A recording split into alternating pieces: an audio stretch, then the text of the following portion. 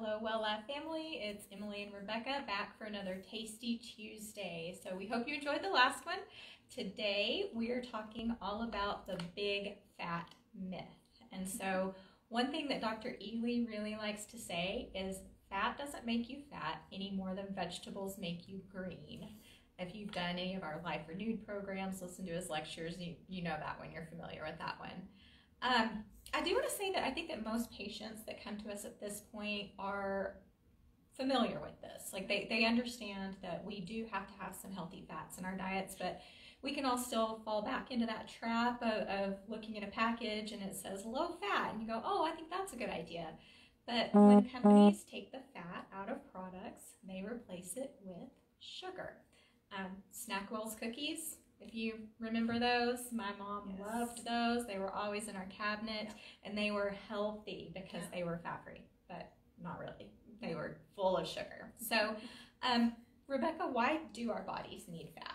Well, fat is just one of our body's most basic building blocks. Um, we have 10 trillion cells in our bodies, and every one of those needs fat, high quality fat.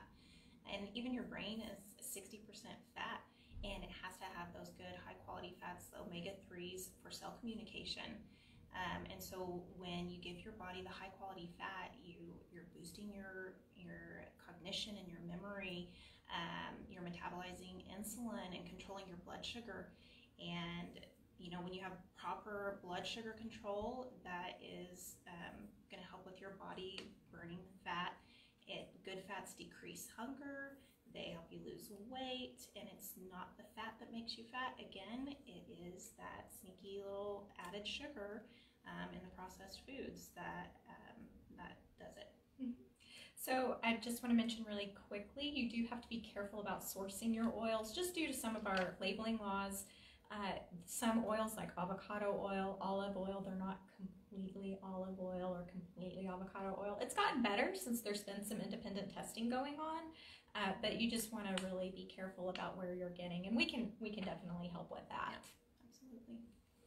So, what are some high quality fats? When we say healthy fats, we tell people eat your healthy fats. Oh, well, we're we're talking about the oils like olive oil um, that has been in the human diet for thousands of years.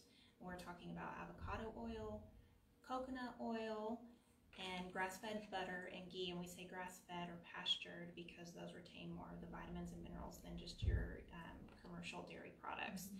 and those are all really good oils that you can use. Um, and whole food sources of fat include grass-fed meat and wild game. Wild caught fatty fish of course like salmon um, sardines are a great source. Nuts seeds um, and avocados so uh, we hear a lot about vegetable oils and they're very widely used. They're very cheap. Are those healthy? Unfortunately, the vegetable oils have been promoted as being heart healthy and that is just um, outdated science and faulty science. And um, we'll give you a little bit of history on the vegetable oils and then you can maybe do a little bit of your own research and see what you think um, about them. But um, it started the, the vegetable oil um, replacing the traditional fats like butter and lard kind of started um, in the late 1800s, early 1900s. Two guys you might have heard of, William Procter and James Gamble, um, were soap makers and they decided that they could use all this excess cottonseed oil um, to make soap, but then they figured out that since nobody was using cottonseed oil for fuel anymore, they could take this cottonseed oil and hydrogenize it. And it could turn into something that looked a lot like lard and um, people could cook with it and everything else. And um, so they turned it into a product called Crisco. And you know I am very sorry to my grandmother and my great grandmother who made some killer fried chicken, chicken fried steak, mm-hmm. like really good pie crust with the Crisco. Yeah. Not a good idea. And they just kind of happened to leave out when they were doing this Crisco, they happened to leave out that cottonseed oil was actually classified as a toxic mm-hmm. waste. Mm-hmm. Um, but they turned it into Crisco and marketed it that way. And so, um, you know, that was kind of the start of it. And then the other vegetable oils followed with the soybean and the corn and the safflower. Um, all of those followed suit. They're low cost. Um, there's really good marketing. They are incredibly highly processed, and in the process of um, getting the oils from these seeds and things, um, they use byproducts from petroleum um, and a lot of other things, and and um, it's just uh, it's highly processed.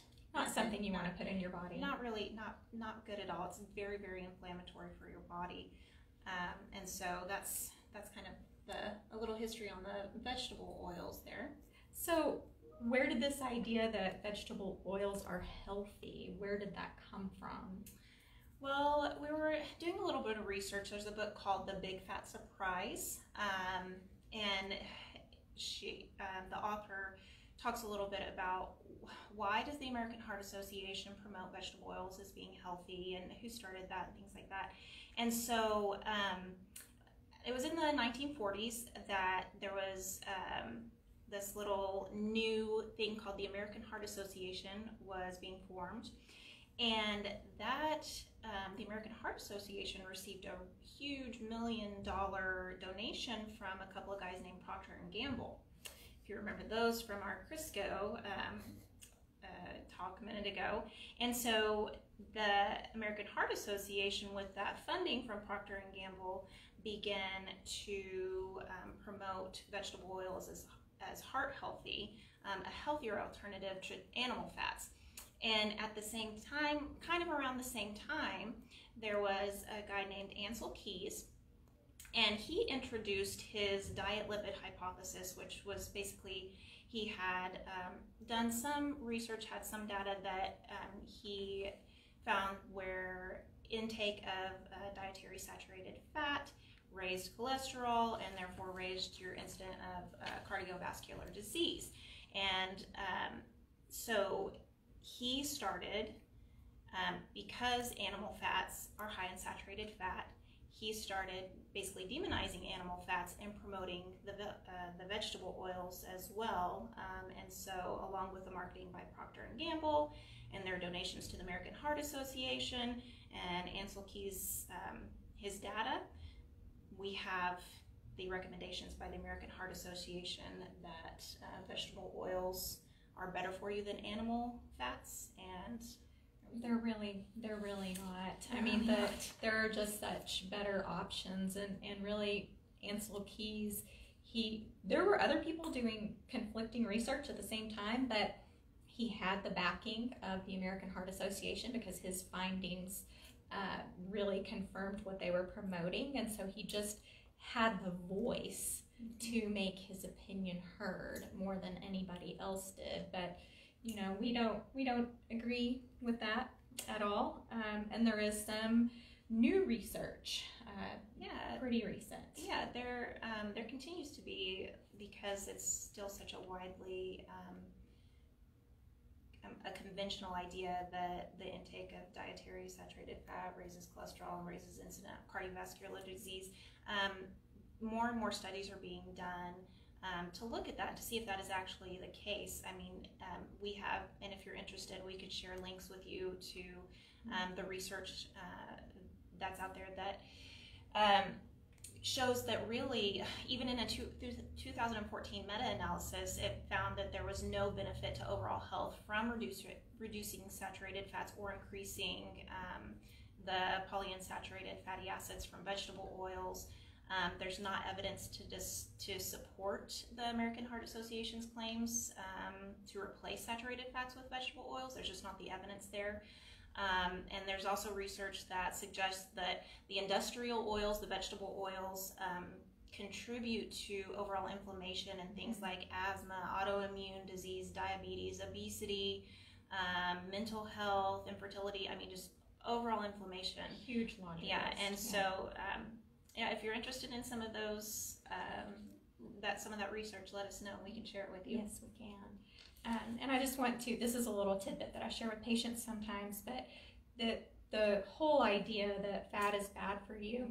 At a conference uh, last year that I attended, I learned that the average per person consumption of olive oil per week in the Mediterranean, it where these people are healthy, right? They're they're living till they're a hundred easily a liter of olive oil per person per week. So obviously the healthy fats are not the issue there. So um, thank you to everybody for joining us again for this Tasty Tuesday.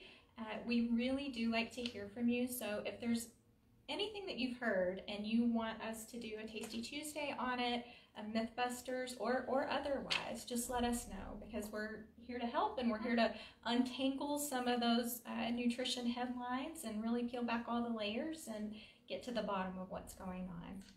Thank you.